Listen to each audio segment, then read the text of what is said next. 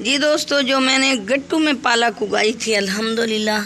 ये देखो, आज तीसरा दिन है, तीन दिन का अल्हम्दुलिल्लाह रिज़ल्ट है। ये देखो, मेरी पालक अच्छे तरीके से जर्मिनेट हो रही है। ये देख सकते हैं आप, ये ये ये बहुत ज़बरदस्त तरीके से जर्मिनेट हो रही है। तो माशाल्लाह, अल्हम्दुलिल्लाह। रात शाम को इस गट्टू में मैंने सॉरी वो गट्टू में और ये जो है डब में उगाई थी, इसका भी तीसरे दिन का रिज़ल्ट इंशाल्लाह आएगा, दिखाऊँगी।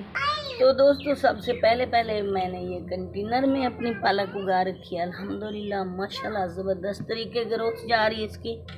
तो मैंने इसे छः दिन छाँव पे रखा है, दूसरा दिन है आज आठवां दिन है सुबह सुबह मैंने आठ दिन का रिज़ल्ट ये दिखा रही हूँ आपको सुबह सुबह इसे तो आज के बाद मैं इसे धूप पे रखा करूँगी।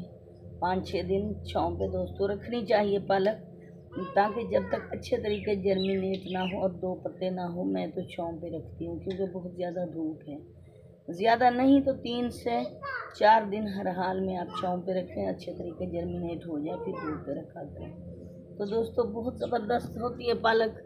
सभी दोस्त छोटे, बड़े, बच्चे, बूढ़े, नौजवान सब शौक से खाते हैं। बहुत यमी सा सालन बनता है पालक का। मैंने कंटेनर में उगाई है, गट्टू में उगाई है और डब में उगाई है। अभी दो, तीन, चार गट्टू मैंने और लगाने हैं पालक के दोस्तों। बिसमीम अस्सलाम जी दोस्तों, मैं हूँ सफ़िया। मेरा यूट्यूब चैनल देख रहे हैं सफ़िया होम गार्डन।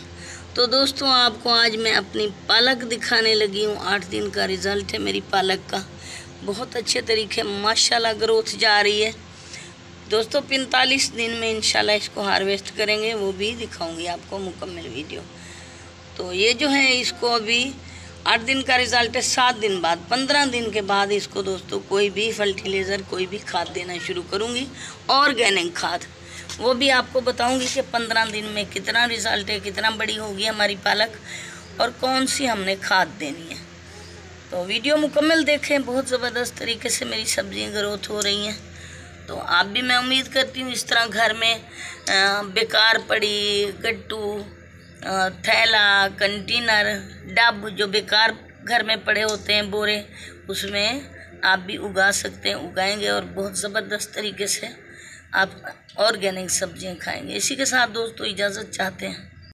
जी दोस्तों, ये है मेरे भिंडी के प्लांट। माशाल्लाह, बहुत अच्छे तरीके मेरी भिंडी की पौध तैयार हुई खड़ी है।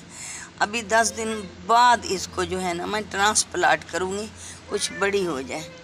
तो दोस्तों, ये मेरे मैंगो प्लांट हैं, इन्हें भी ट्रांसप्लांट करूँगी, दिखाऊँगी आपको। इसी के साथ दोस्तों चाहते हैं इजाज़त। अल्लाह हाफिज़, मिलते हैं किसी नेक्स्ट वीडियो में। रब रखा।